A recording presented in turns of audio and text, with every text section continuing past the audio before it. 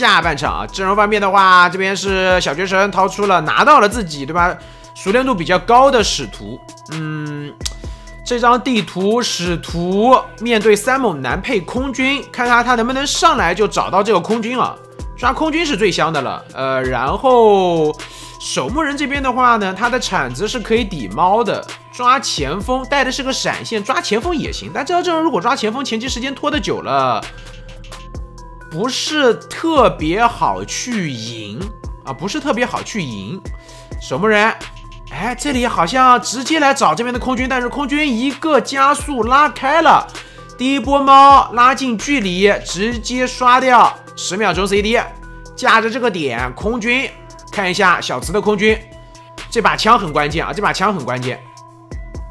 这把枪如果说能够有利用的好，配合着板窗交互加速，一波转进大房就很舒服了。哎，这边看一下，跳过来，翻过去，漂亮！这波加速，身位上面，哎，再交一枪，这一枪那晕的时间很久了。冲大房，我们看一下大房这边有没有队友能够接一手。大房这边是前锋，大房这边是前锋的话，这里打一刀，后面如果前锋帮忙顶一手祭司啊，不，这个空军再转的话。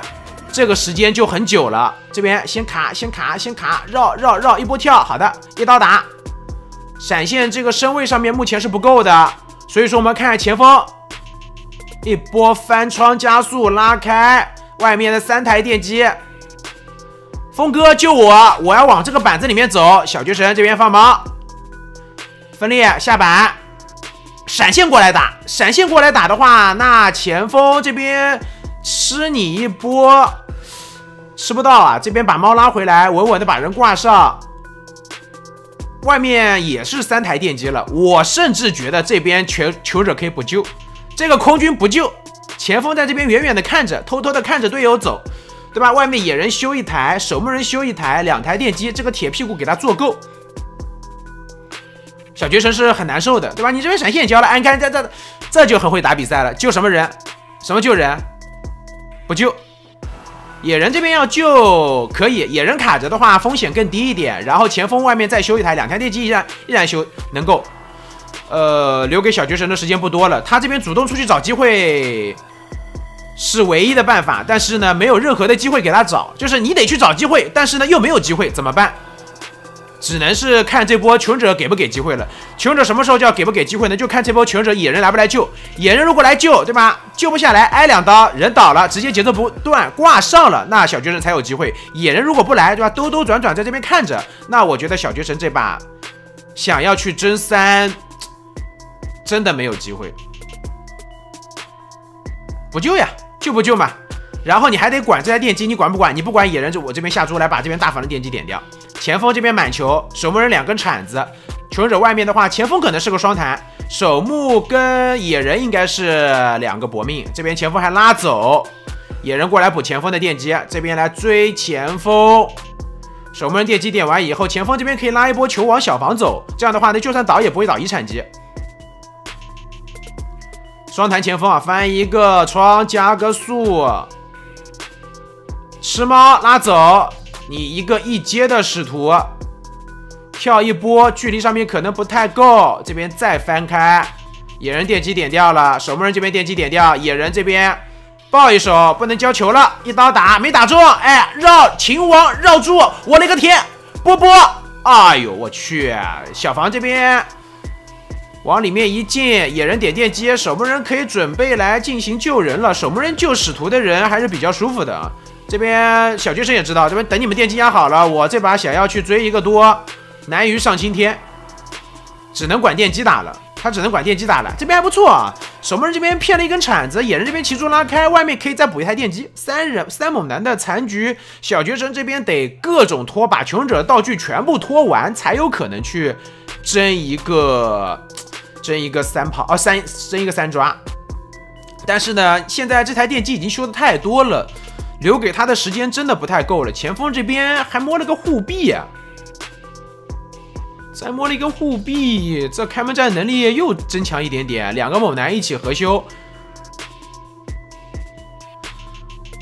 哎，天霸真是不给机会啊，就看不到机会。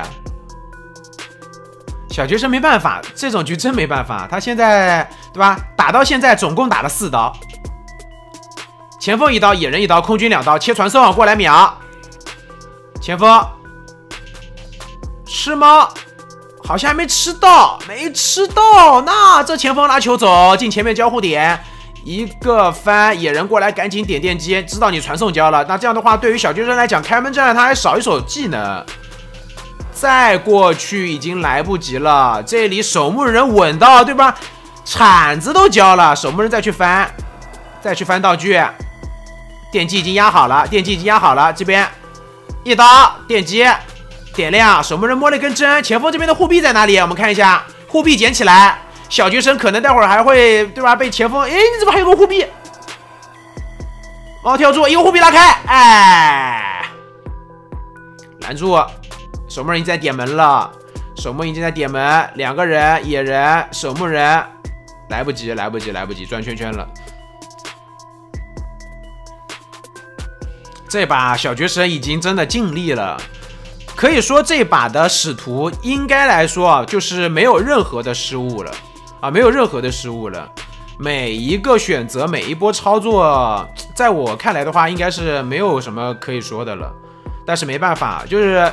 求者拿出这套阵容，加上前期空军牵制的还确实不错。这前锋还要玩一手，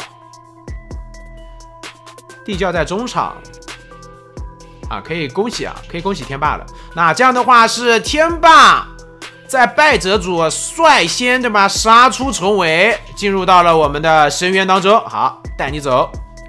那后面三只。手心手背都是肉啊！转个圈圈啊，可以可以可以可以，今天天霸打的确实很好啊。